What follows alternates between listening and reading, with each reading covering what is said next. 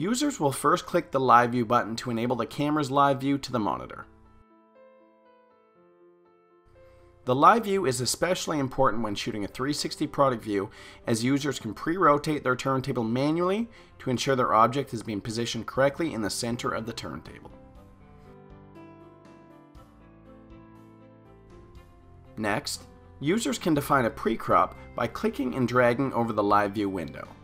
Users should do so when rotating the turntable to ensure as the object rotates, it will not fall outside the crop markers. Users will then want to define a focal point. They can do so through mouse clicks by switching into manual focus mode and clicking the focal adjustment arrows. After the focal point has been set, it will be retained from shot to shot to ensure for consistent focal area. Last, users can make changes to their camera settings to ensure for correct exposure. As you can see, as the camera settings are adjusted, the resulting exposure is simulated in real time in the live view window.